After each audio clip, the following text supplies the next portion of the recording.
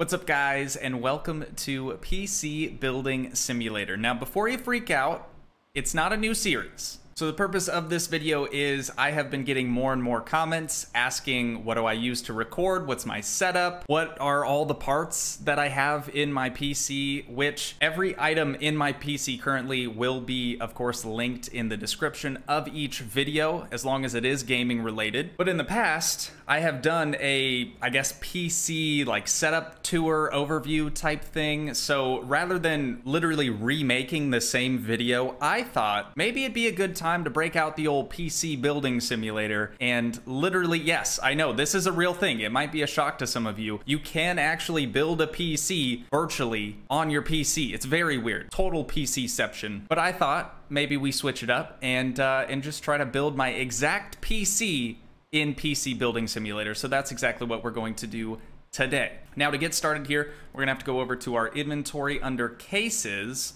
and we're gonna have to get the Fractal Meshify C Dark, I believe is what it's called. So we have the Meshify C TG, and then we have the Meshify Dark TG. Honestly, I have no idea what the difference in these two actually is, but I'm gonna go with the Dark TG. So now that we have our case, let's come over to our workbench here. We'll place it down. First step is of course removing the front glass panel, and we're gonna remove the back metal panel as well. Now, when you do buy a case, there's a good chance it's probably going to come with some fans. Now, they're not necessarily the best fans in the world. For example, I definitely did rip the initial case fans out and replace them with some Corsair RGB fans just because, you know, who doesn't want some lights in their gaming PC? That's kind of like the thing to do. Now we're gonna have to remove the PSU mount. All right, we're looking good. Everything is uh, pretty well stripped down to a bare shell. We may have to remove the dust filter on the top there as well. So with that done, I think we can start installing some stuff. Now the first thing you're wanna gonna you're wanna gonna do Oh, this is gonna be a long, long recording. So the first thing you're gonna wanna do is, of course, get in your motherboard. I have a Gigabyte X470 Aorus Gaming 7 Wi-Fi.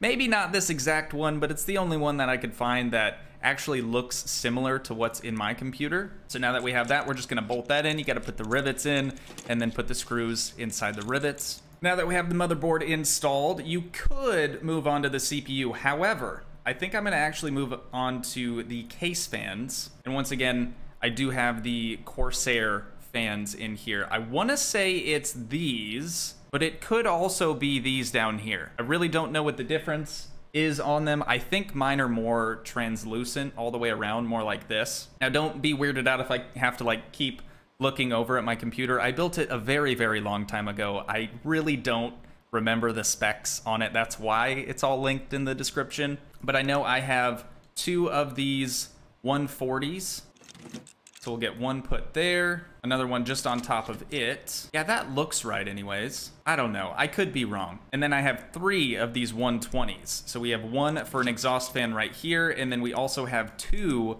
120s for exhaust fans on the top. Whether or not the game actually registers it to be an intake or an exhaust fan, I don't really know, but I'm just doing exactly what I have next to me. And with that done, it may be a good time to remove the PCI fan fin things. I don't know what they're called, guys. And the reason we want to remove those is so we can fit our graphics card. Now, I have a 1070 Ti, which I don't think the exact one that I have is actually in the game, but we can get it pretty close. This is 1070 no TI Founders Edition NVIDIA. I do have an NVIDIA graphics card, so I'm gonna use the NVIDIA GeForce GTX 1070 Ti Founders edition. That is quite a mouthful, but we're gonna get that installed right there. It looks similar. Now, I definitely don't have the Founders edition, but based on the specs and the performance of this graphics card, it is virtually the same as what I have. Now we're gonna move on to the CPUs. So I do use AMD. I have an AMD motherboard. Uh, it's the, the chipset in it is specific to AMD, so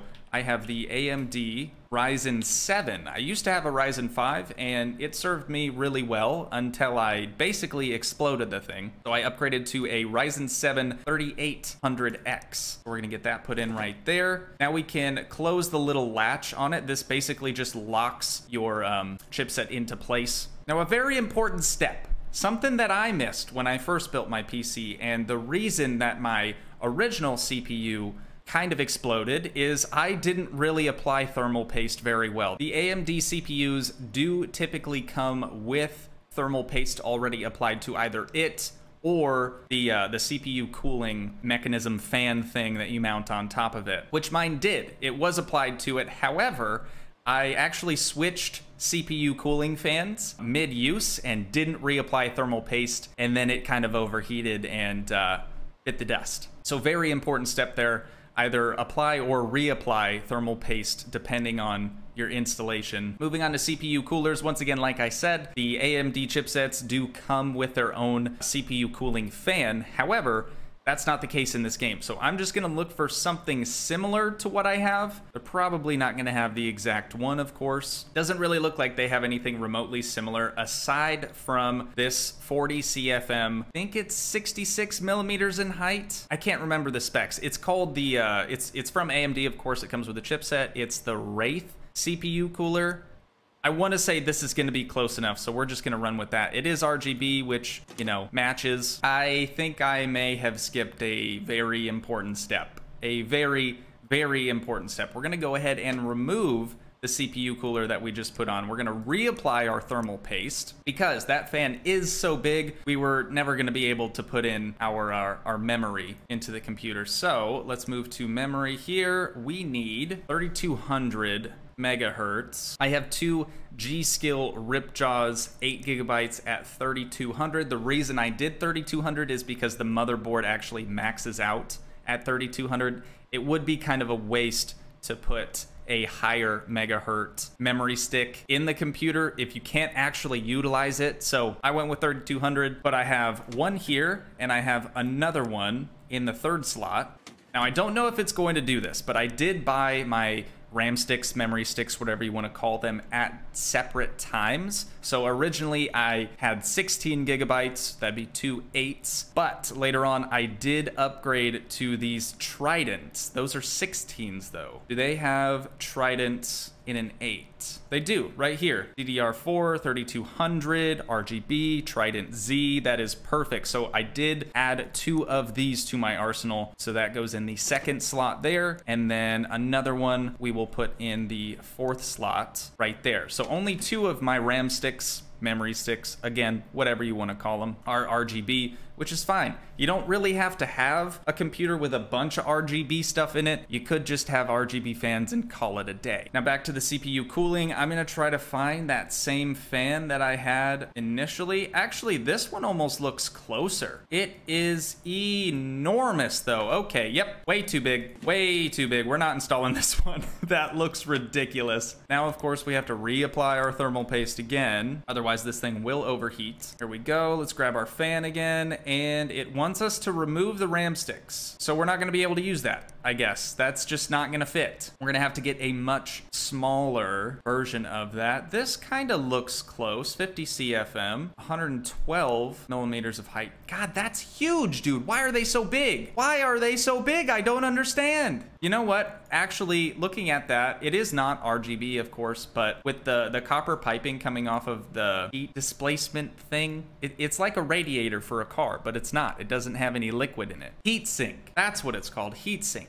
It's a bit large, but it'll do. I mean, that's that's basically what I have. And now moving on to storage. I actually have just one storage device on my computer. It is a one terabyte M.2. I believe this is the only one terabyte M.2. Yes, it is quite literally the only one that is one terabyte. So we are going to use the ADATA XPG SX6000M.2 1 terabyte storage drive here. And this can either go underneath of your GPU or sometimes there's another slot. What the heck, dude? What the heck? It still wants us to remove. Are you kidding me? All right, either way, it's gonna want us to remove our uh, GPU here. So let's just go ahead and unplug that, rip that sucker out of there, and we'll put in our M.2. I have mine underneath of the GPU probably not the best spot to put it, but it does have its own separate heatsink that goes over top of it before you put the GPU on. So odds of it overheating are slim to none. Let's grab our 1070 Ti again. So mine actually has three fans, kind of like this, but spec-wise, like core frequency, memory frequency, it is neither of those two. So we're just gonna go with the 1070 Ti Founders Edition from NVIDIA. Looks good. All right, dude, what else are we missing? Power supply. That's a very, very important thing. Power supplies don't really matter, to be honest, as long as you have the correct wattage that your computer is going to need. I have a Corsair TX650M in my computer currently, so that's what I'm gonna install here. Being in free build mode, it's going to do all of the cables for you. When I purchased my power supply, it actually came with a bunch of cables and they're very, very ugly. Cable management, not exactly my forte. I don't care too much, but I know every person I've ever had like come over and look at my PC, a lot of my friends that are really big into building PCs, kind of shun it a little bit because the cable management is so terrible. So I'm not gonna worry about it. It runs just fine, it works great. Now aside from that, I think we're about done. So the next step under PC parts, this is everything that we took off of it. We're gonna have to get our power supply bracket put back on there, unplug the power supply here really quick so we can get that mounted up.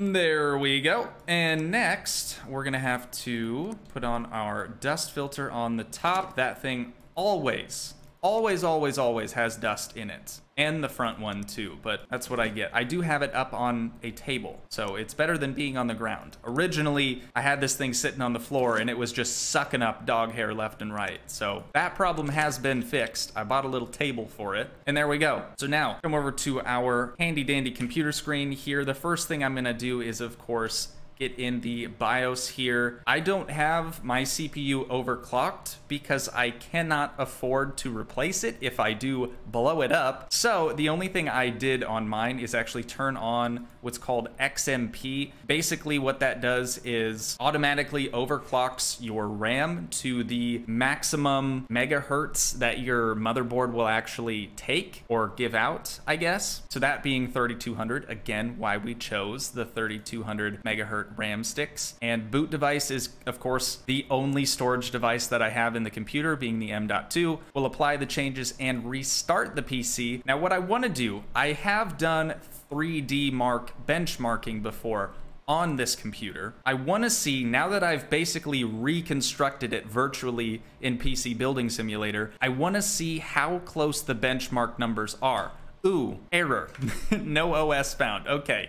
You'd think that'd be a problem, but I do actually have a Windows 10 put on a little flash drive, so we're just gonna go ahead, plug that in the back there. There we go. Turn her off, turn her back on. We'll reboot the system so it actually has an OS to pull off the flash drive, that being the Omega system here. Now, we're gonna add and remove some programs. The only really important one that I'm gonna be doing is the 3D Mark uh, benchmarking software. So we're going to add that. And then we're going to add the lighting software as well.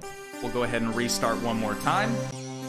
All right, here we are. So for the Corsair HD RGB, I think I think I have everything kind of alternating right now. So I'm just gonna select all the lights. We're gonna go to rainbow, set the speed down to low, time offset maxed out. Now that's gonna change all of them so they will alternate in a rainbow pattern just so you guys can see that. I'll go ahead and focus in on the PC one more time. And that's actually, that's really weird. That That's exactly what it looks like, like to a T. Very cool. You can't see my RGB memory sticks very well just because of the CPU cooler that I chose was way too big, but that's all right. Now we're gonna open up 3D Mark. What this is gonna do is basically run a, I would call it a game. I don't know if this is a legitimate game or not, but it's going to benchmark it based off of your CPU processes and your GPU processes and just make sure that everything is tip top, your frame rate is good, all sorts of, you know, nerdy stuff like that. So we're gonna go ahead and let this run through, get the final number, and uh, we'll compare it to what my actual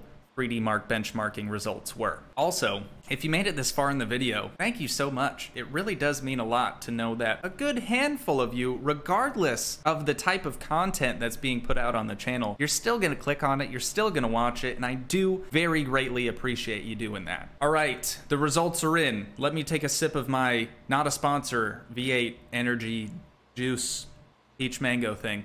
Okay, 6745. Now I don't know if this is based on running at 1080p or if it's running 4K, but I do have the results on my desktop, so I'm gonna go ahead and uh, look at those really quick. So I have the results for 1080p on the 3800X. I also have them for the 2600X, the original CPU that I blew up. Uh, that doesn't look good. So I guess since I haven't actually opened up 3D Mark in such a long time that it's outdated now, so I can't open up those files, but just bear with me a moment. I'm gonna go ahead and update it and we'll check out what those files were. All right, 1080p, 3800X, what do we got? We have a benchmark of 6712, you guys. 6712. This was a 6745 in-game, so it is a little bit better in the game, but that could just be because of the cooler difference. I'm not really sure. Graphics score 6380. Let's check what the actual test was. 6329, so lower there. Again, that could just be because of the GPU that I used isn't exactly what I have in my computer, but it's dang close. CPU score 10,224, and CPU score in-game is 9,983. So it really does sort of equal out in between the graphics graphics score versus the CPU score, I'm super surprised with that super, super surprised that the game is almost, uh, granted, again, the components are not all exactly the same, but it is almost spot on with my actual results. I want to check my 3800X in 4K results, and we'll see if that is similar or worse. Okay, much worse. That's only a 3000, and that's why I don't record in 4K. Also, editing files in 4K, complete disaster. Highly don't recommend doing that ever. Unless your PC is just an absolute unit, then have at it. And then let's open up one last one here. I know you guys can't see what I'm doing. You'll just kind of have to take my word for it. I want to open up 1080p on my old CPU, my old chipset, the 2600X Ryzen 5. Let's open that up and see what the results were for that. 6611 overall score and a 6745 in game with the upgraded CPU. So CPU score definitely went up, but it really didn't help the overall score all that much, 100 points or something like that. But man, that is the coolest, the coolest thing. I don't know why I didn't make this video sooner. I it just kind of popped in my head this morning. I was like, you know what? I'm gonna do that. I'm gonna do that. Nobody asked for it, but I'm gonna do it anyways. So uh, I do think that is going to uh, finish things off for this episode of PC Building Simulator. If you guys do want to see me play through the uh, the career mode in this game, I would be happy to do that. It's uh, it's a very easy game to just pick up and record. I think with that, I'm just gonna wind things down here. So if you guys did enjoy, please leave a like, leave a comment, help support the dream by smashing that subscribe button, and I will see you in the next one. Thanks so much for watching, guys. Peace.